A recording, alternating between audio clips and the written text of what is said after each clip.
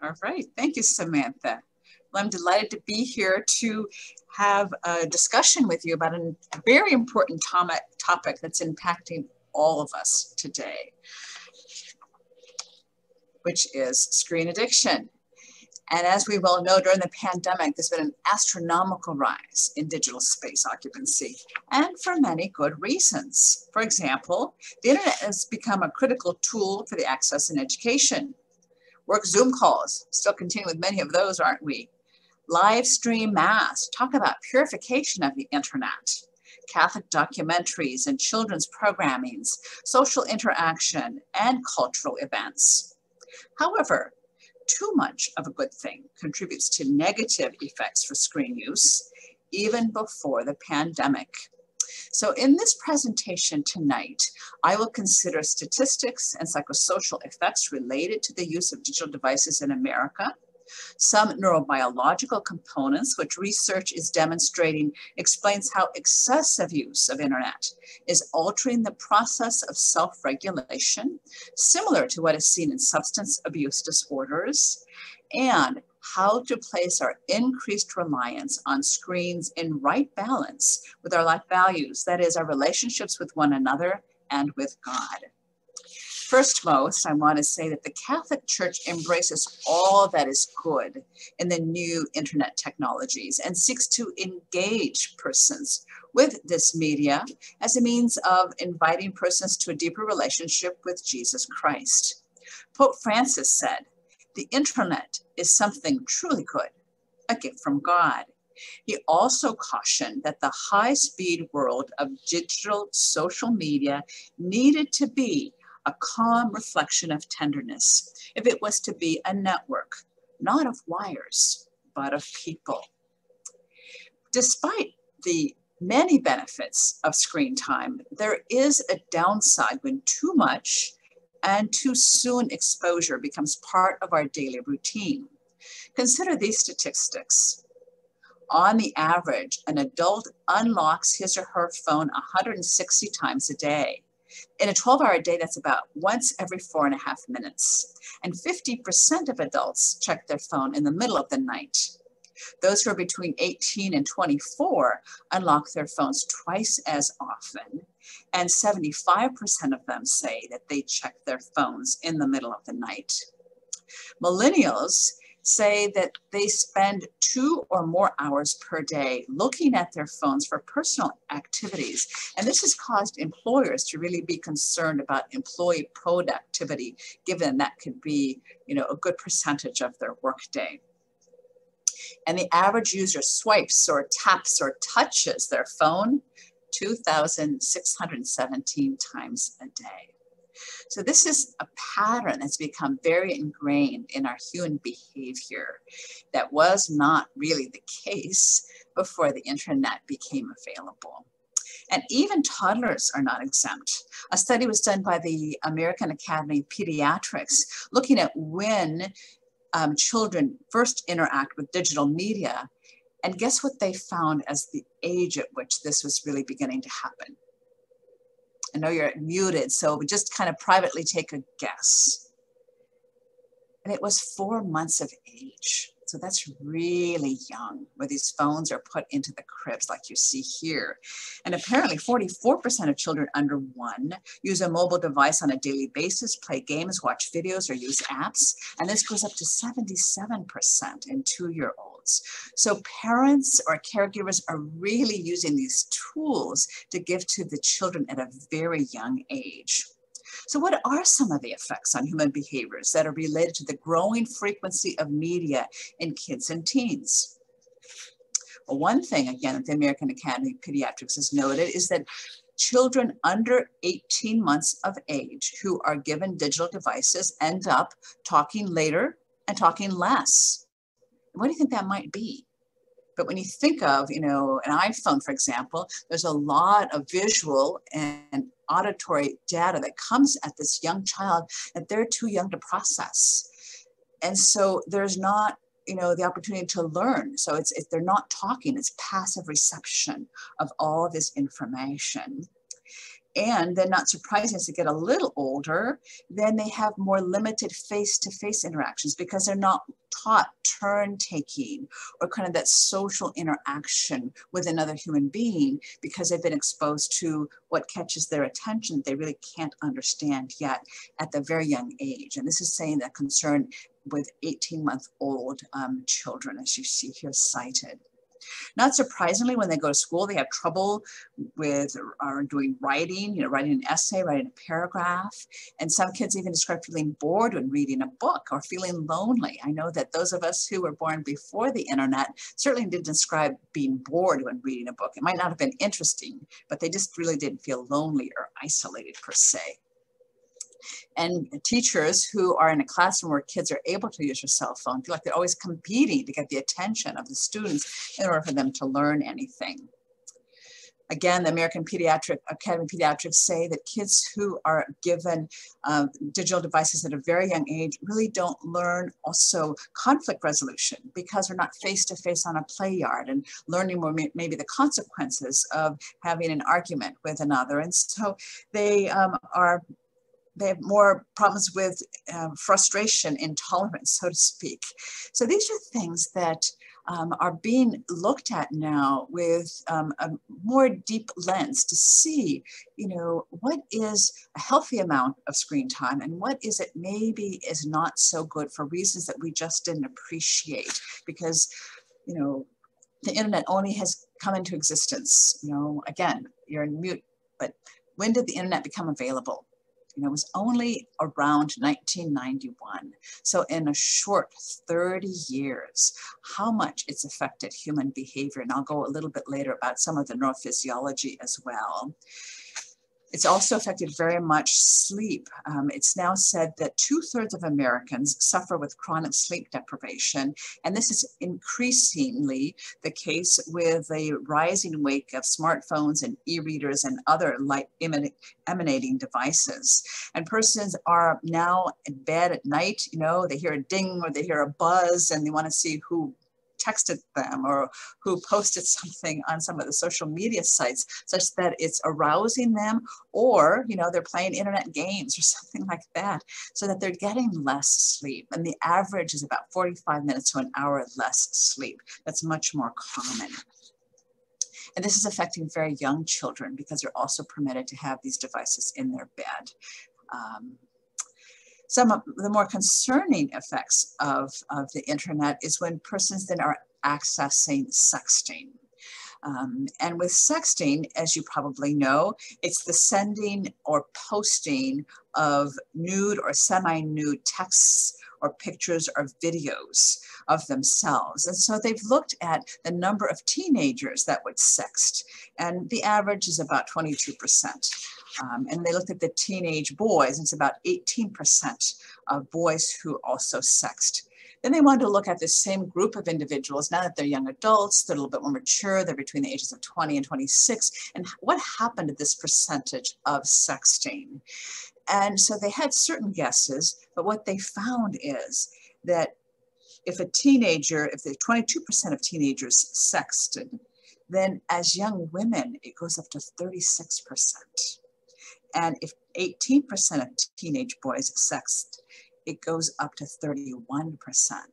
So as they're maturing and getting older, there's a significant increase in the number of these individuals that are sexting. And it can be hard for teens and young adults to grasp the permanent consequences of their interactions because sexting becomes a legal issue if they've sent some of these images before they were age 18 and it could place them at risk of being in possession of child pornography. And as you well know, once something on the internet, it's almost impossible to completely um, discard it on the internet. And it can come back and haunt you even though you're no longer a teenager. It's also something that um, more college colleges or prospective employers are looking at. They're looking at social media postings. And if they're not sure who to hire, they're looking at what they've done to decide if maybe an applicant's suitability points to red flags or poor judgment, and then maybe not having them be accepted to a university or not hired for a job. Cyberbullying is on the rise. It's now at least 60% of teenagers describe being cyberbullied, and 25% of them repeatedly, and 50% of them never tell their parents. Why? Because they're afraid their phone will be taken away. So I tell parents, um, you know, those that work with kids, um, teachers, um, to please talk to you know young children or teens about cyberbullying. They they're not alone in this. There are ways to address it because it's something that they're afraid of, and um, they, these individuals have increased uh, rates of depression, anxiety, and especially now suicidal tendencies. We also see more a lot of um, um, sex trafficking. Um, and most of the victims are between the ages of 13 and 17. More are women, and yet now more there are boys that are also being sexted um, in trafficking. Um, and sexting is only behind drugs as a growing industry and drugs and sexting often go together so often. Um, so this is something to really look at.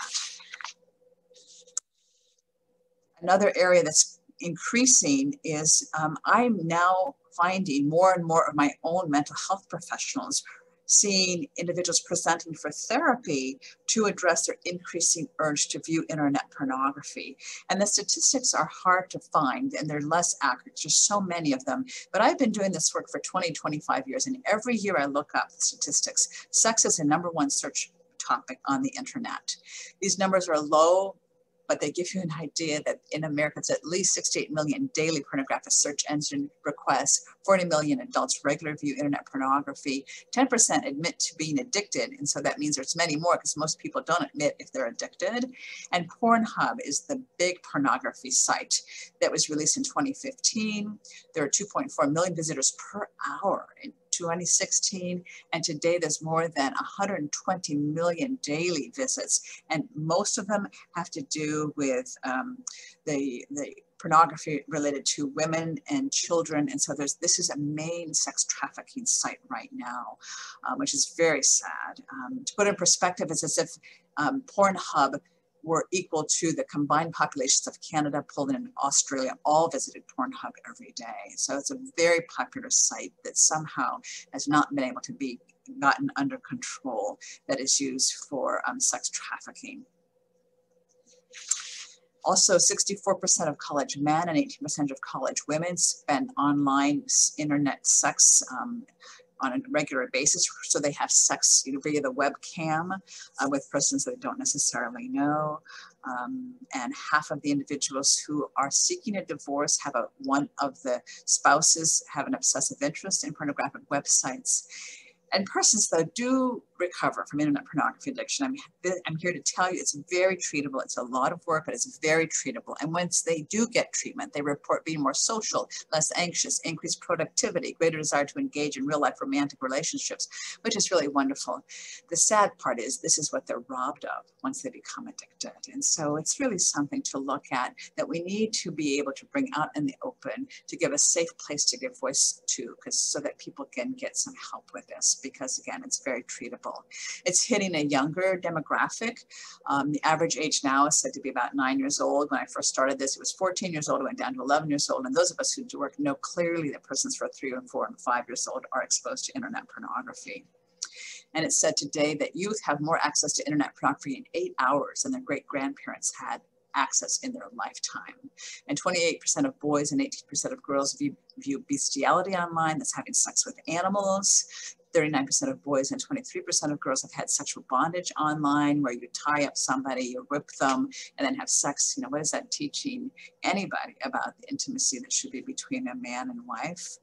This is a very bothersome statistic that's only been out a couple of years. So it's children who are under 10 now account for almost a quarter of those who view internet pornography of all children under 18. So if you think all the children who are under 18, a quarter of them who are viewing internet pornography are 10 and under. So it's really hitting a very young age of child. Um, so I think this is key where, where adults are very important. Um, also, pornographers use the names such as Pokemon or Action Man to appeal to children. Does anybody know what um, mouse trapping is? Well, mousetrapping is when a child would click on a site and it opens up to pornography. Then they click on a site again. It's more pornography. And it's deliberately done by the pornographers to expose these children to pornography.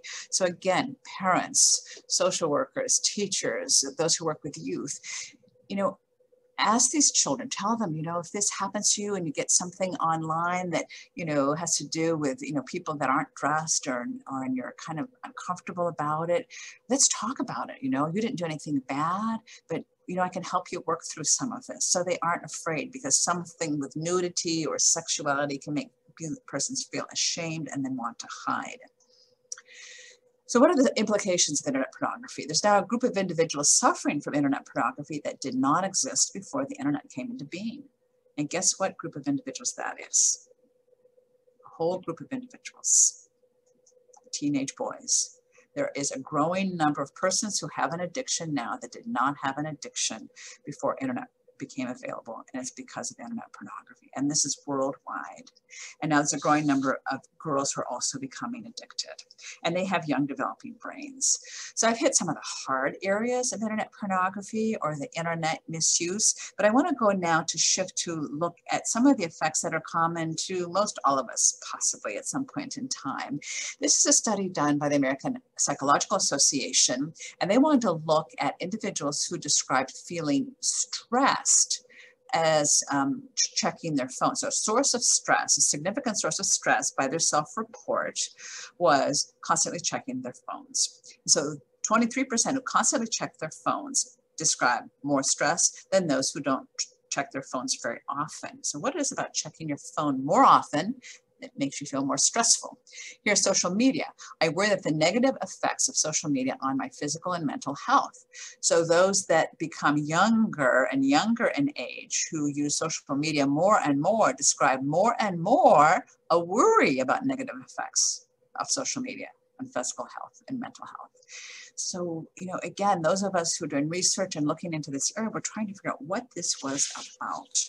Um, this is when high school students, again, the more often they use their phones, the more they described anxiety. And I'll say a little bit about that when I talk about the neurophysiology. This is another study by the Youth Risk Behavior Surveillance Group, where they noted that those youth who are eighth graders in this study who spend more time on social media, gaming, texting, and video chatting on their phones exhibited more depression and anxiety than those who played sports, went outside, attended religious services, and interacted with real human beings. So there's something about the real face-to-face -face interactions that seem to be protective as compared to those who had very little and had most screen time socialization, which they found that they of and had some, you know, officially diagnosed higher symptoms of depression and anxiety. And these devices have spawned some novel 21st century neuroses, you know, FOMO, the fear of missing out. Know, for all the power to link persons day and night, social media has exacerbated the age-old concern of feeling left out. And this fear of missing out is affecting self-esteem and contributing to feelings of inadequacy. So this is a study done uh, on 8th, 10th, and 12th graders between 89 to 2015, and that's a long period of time. And you see, once you start to hit 2007 on up, there's a peak rise in these individuals self-reporting, I can't do anything right. My life is not useful. I don't enjoy life. You know, how sad to have such young persons begin to feel this way about their life. Um, and so I, what we're looking at as we look at this a, little bit more deeper lens is that these individuals who see most of their socialization online and they see what's posted, they have this false notion that that their their friends have a better life than they do that they always post what's happy and everything is wonderful. But if they were face to face with them they would more appreciate that they also have struggles as well and can talk about them and that's happening less. So with this um, amount of stimulation to the brain from all the sight and sound there's been anxiety, but over time it creates a depression, a biochemical depression. And I can tell you as a psychiatrist that once you have a biochemical depression, you're possibly 50, percent more likely to have a depression later in life. And now because we're seeing this in younger and younger individuals, they're more likely to have more episodes of clinical depression for the more decades they have to live. So um, this is also another study that there's been a significant rise. There's almost a doubling of suicide-related hospital admissions between 2008 and 2015 of you know individuals who are 5 to 11, 12 to 14, and 15 to 17. So this is a huge jump um, of suicide um, that's increasing. Again, it's not just social media, but it's also, you know, the lack of feeling connected with real people and maybe the lack of connectedness even within their own home that is affecting some of these things that are becoming concerning to families, to youth ministers, to mental health providers.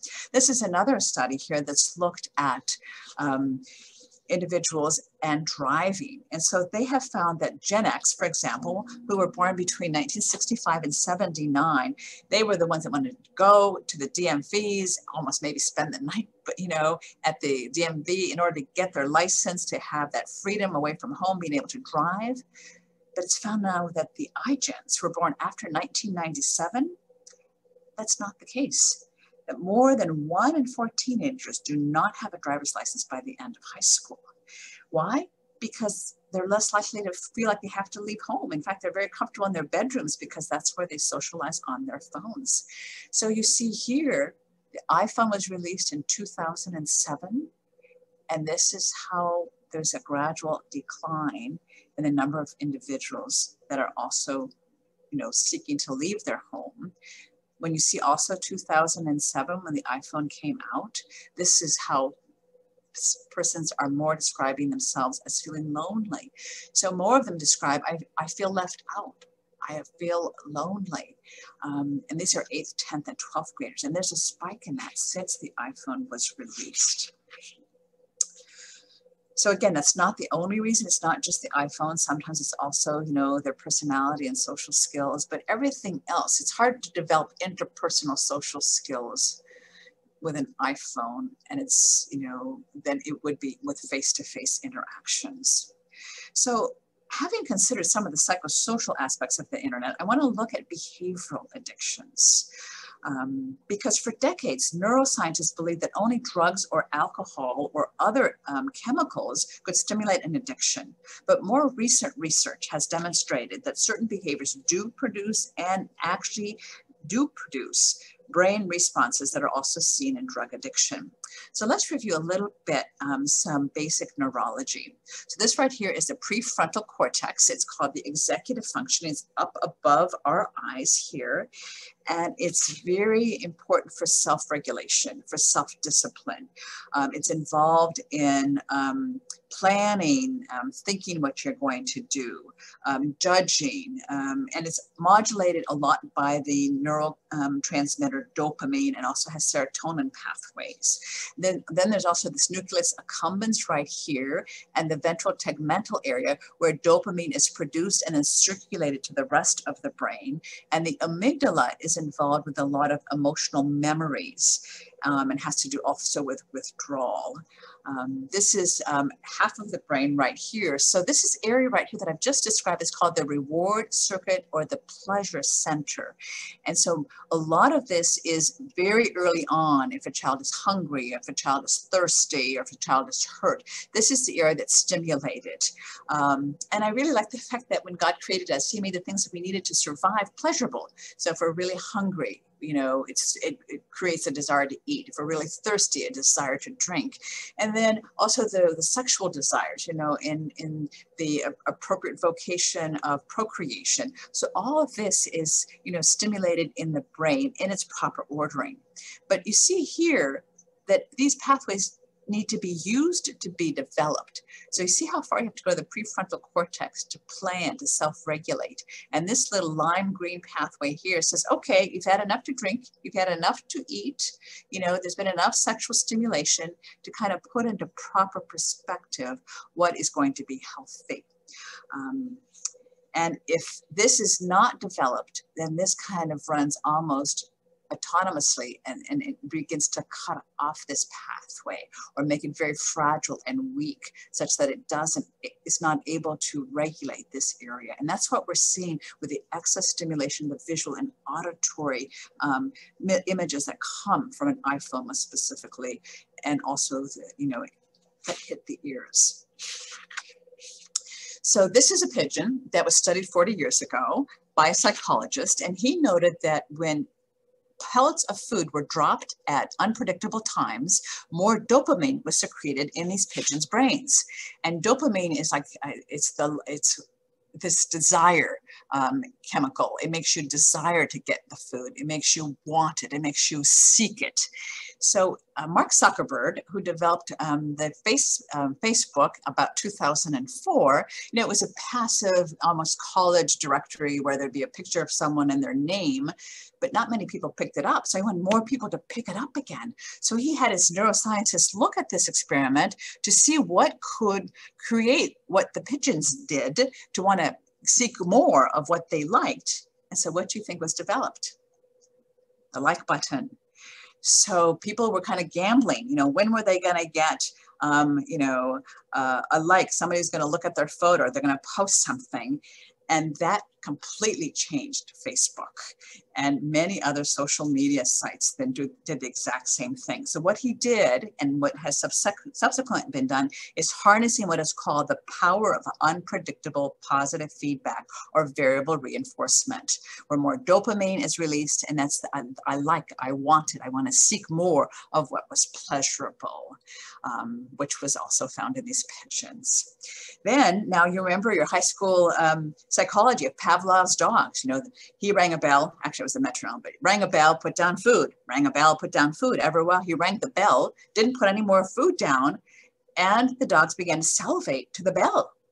So now you have this operant conditioning. So you add a tweet or you add a ding to the post and it makes you want to just check your phone. So all of this is creating an active stimulation in that pleasure center, which makes you then obsess or feel compulsively moved to seek what is being triggered in your brain to tell you this is pleasurable. I want more. I want more. Let me seek more. And that's how um, the overstimulation is contributing to being anxious because that causes some agitation in the brain because it's not able to rest calmly anymore. And that's what we're finding when we're looking at um, some of these um, functional MRI scans and some of these high-tech PET scans. Now, when is it that you know, the iPhone came out. I told you it was 2007. And when did the iPad come out? You know, approximately, you know, 2010. So when did Steve um, Jobs give his children an iPad or an iPhone? Never, never. And when did Evan Williams, who was the co-founder of Twitter, give his um, boys, um, you know, an iPad? Again, he gave them a lot of books. So what do you think of the fact that some of these main designers of these electronic devices never gave their children these devices because they they knew the effect they would have on their developing brains. It's something to kind of pause and think about. So online gaming, that's been studied um, because uh, World of Warcraft was a really popular game.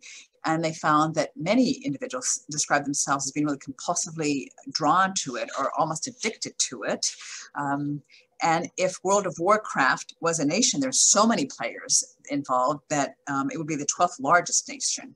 Um, so persons are in a guild and they create an avatar and they go on these, you know, epics where they're um, guildmates in Japan or Estonia or Paris and all time zones such that they aren't getting sleep, they're missing classes the next day, they're not doing their homework.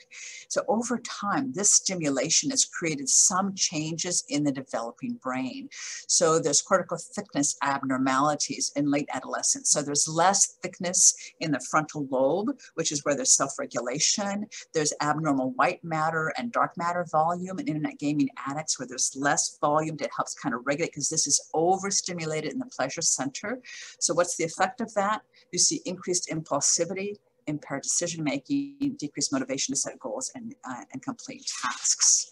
So this was not expected um, before the internet came out. And so this is a proposed diagnosis that came out in the latest DSM-5, and it has all the symptoms of substance abuse disorders. That is now a condition for further study. Um, this is a pediatrician who wanted to look at what are some things that are being posted on YouTube Kids apps? And she found spliced into Minecraft, which is a popular video game for kids, that it depicted shootings. It, can, it depicted cartoons suggesting human trafficking, a child who committed suicide by stabbing, another one who attempted suicide by hanging. And then there's another uh, um, Nintendo game that she looked at that called Splatoon and spliced into that. There was um, an individual come up like this who says, remember kids, sideways for attention, long ways to results, how to end it. So teaching kids how to successfully suicide. So again, parents, youth ministers, teachers, you know, talk to kids about what might be on these kids apps and, you know, engage with them, something that's concerning to them. Also watch what your kids are accessing because just because it says kids doesn't mean it has only safe material. Well, having overviewed some of these difficulties, I want to again underscore that the internet is a wonderful tool and it's not intrinsically bad. And people of all ages can make very good use of the technology for communication, for business, social exchange. But we don't know how much Googling is too much for the developing mind or the mature mind.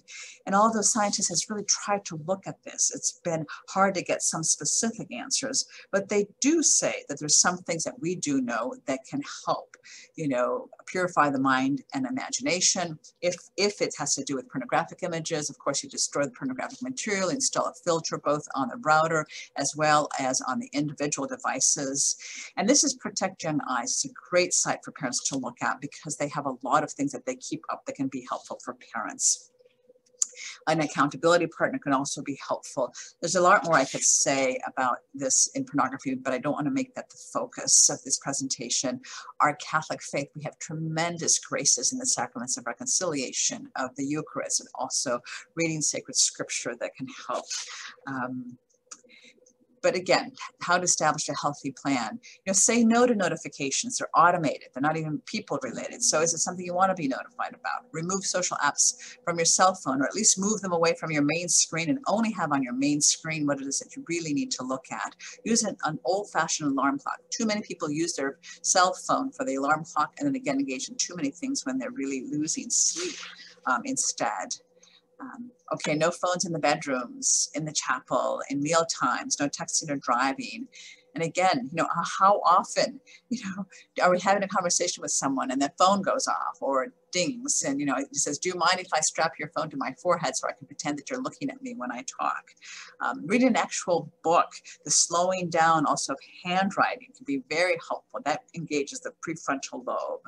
Um, working outside, and also, you know, what about quieting the mind? You know, what about a media fast? Consider giving up the screens for a whole day as a family or as a group of friends and reflect on your screen-free day. What did you notice? You know, how was your screen-free day compared to a day you were using screens? What did you notice when you're interacting face-to-face with others for a day? Were you able to do something because you weren't engaged in your screens? I think those are things that can be very helpful for individuals. Even the American Academy of Pediatrics set up new since the pandemic. Um, and they say that face-to-face -face anytime, and that has been consistent with a parent guiding the child through the experience, but with one caveat. They want the parent or whoever is looking at FaceTime with the child to think of the screen time as walking in the park and saying to the child, oh, hey, look at the ducks here, look at the smell of the flowers, you know, kind of put bringing out what's on FaceTime for the child so they're really interacting with the adult that they're talking to. And that kind of helps guide the, the child through the experience. And that seems to work all right. This um, 18 months to five years. It used to be two hours of screen time of entertainment. Now it's one hour recommended. They don't set up specific screen time for older children, but if they say set up, you know, a timetable, you know, an hour for exercise and maybe eight to 10 hours for sleep, time for homework, time for family time, and then what's left should be then the screen limit time. Um, another addition is they really suggest limits for parents, especially no screen time for a parent at meals, no screen time for a parent when there's a parent-child playtime. Because what they've noticed is that when the parent is on the screen, if they're out for a walk with their child or, or they're at the meals, there's less face-to-face -face interaction. So there's less conversational interpersonal skills being um, modeled so the child can learn from. And that's really how we bond emotionally, is through the, so those interpersonal, actual human interactions, much more so than just what's on the screen itself. So what you want is you want to have the child plug into you and not into these screens. And Cardinal Sarah says, I do not simply mean not to interrupt what someone else is saying, but an interior silence. Without silence, God disappears in the noise. And this noise becomes all the more obsessive because God is absent. Isn't that something that there's so much stimulation that you it, it's clogging up any space to pause, to ponder, to pray, to be present to who's before you. And I know you can experience that yourself. It can be very fatiguing to surf the web. So enough sleep, healthy eating, good exercise, and then key to really affective maturity is to grow in self-knowledge. But if I'm not aware of what's happening to me, I can't bring myself to have some self-knowledge. And if I don't have self self-knowledge, then I can't make some, you know, self-direction, make some choices in my life, which helping with some self-control. And with that, I'm really become much more free in how I do what I do and why I do it, rather than kind of, you know, be impelled just to do it because I have this trigger now that makes you want to do it without much thinking. Um, so this is a book that I've written called Screen Addiction, where you can't buy put down your phone. It's available in En route books and media slash screen time. You can also get it on Amazon, but you won't find also this little video. It's five and a half minutes, and it kind of reviews some of the um, neurophysiology that I've just described. It's an animated little video, and I developed it because I was asked often, you know, what can we do for our church group, our youth groups, our parents? And so these are discussion booklets for parents, for young adults, and for teens that are free. You can get it off this website and then you can show this little video and have discussions with the particular group of how you want to set up maybe family time or youth group times that be educational for those that are involved as well as for those who are facilitating. And then the booklets for facilitators have a little bit more um, direction. So I'd like to close with a quote from Pope St. John Paul II in his World Communications Day message of 2002, where he said, the internet causes billions of images to appear on millions of computer monitors around the planet. From this galaxy of sight and sound will the face of Christ emerge and the voice of Christ be heard. For it's only when his face is seen and his voice is heard that the world will know the glad tidings of our redemption. This is the purpose of evangelization. And this is what will make the internet a genuinely human space. For if there's no room for Christ, there is not room for man. Therefore, I dare to summon the whole church bravely to cross this new threshold, to put out into the deep of the net, so that now, as in the past, the great engagement of the gospel and culture may show to the world the glory of God on the face of Christ. May God bless all of those who work for this aim.